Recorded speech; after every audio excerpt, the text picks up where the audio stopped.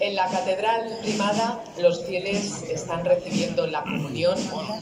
están recibiendo a Jesús sacramentado, el mismo que dentro de unos minutos va a estar en las calles de Toledo,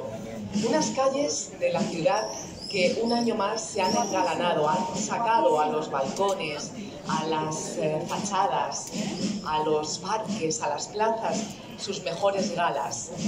Balcones engalanados con reposteros, con mantones de Manila y con flores, sobre todo flores. Las flores que los floristas de Toledo y de la provincia se encargan de cuidar con mimo para que llegado este día estén